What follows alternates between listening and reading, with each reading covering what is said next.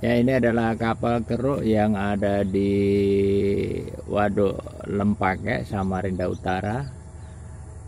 Ini pada tanggal 6 Oktober 2020. Ini sebagian sudah dibersihkan rumput-rumputnya. Ini ada semacam kapal keruk ini mau dikeruk ini kayak model di tes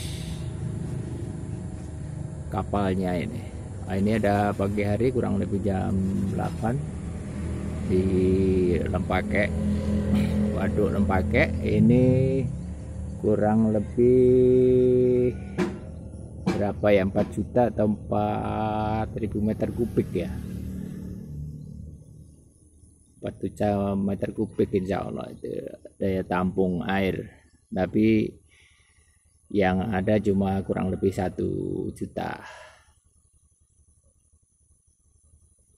E, demikian laporan dari Waduk Lepake Samarinda Utara. E, ruang air yang hilang di arah hulu sungai Ulu waduk ini kurang lebih ya ada tiga besar yaitu ruang air karena penuh sentimen karena diuruk untuk landasan bandara dan ada rawa sungai bawang yang dikeringkan